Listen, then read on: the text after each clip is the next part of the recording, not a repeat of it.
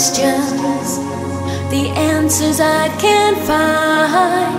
I'm filled with pure emotion, the tears I cannot hide.